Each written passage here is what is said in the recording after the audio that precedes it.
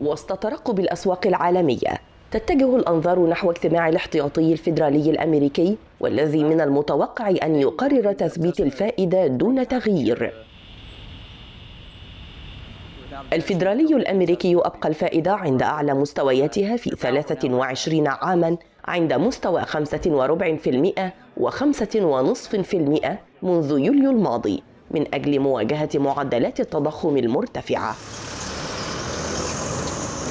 الأسواق المالية ليست مقتنعة بأن الفيدرالي سيخفض الفائدة ثلاث مرات هذا العام بل تراهن على خفض الفائدة مرة أو مرتين فقط خلال 2024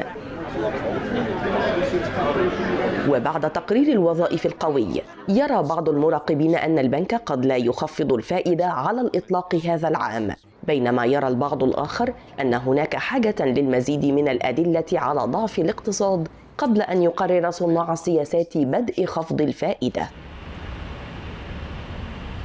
في أوائل مايو الماضي أكد جيروم باول رئيس الفيدرالي أن الانتخابات الرئاسية الأمريكية المقررة في نوفمبر لن تؤثر على قرارات الفائدة موضحا أن القرارات يتم اتخاذها بناء على البيانات وكيفية تأثيرها على التوقعات وتوازن المخاطر.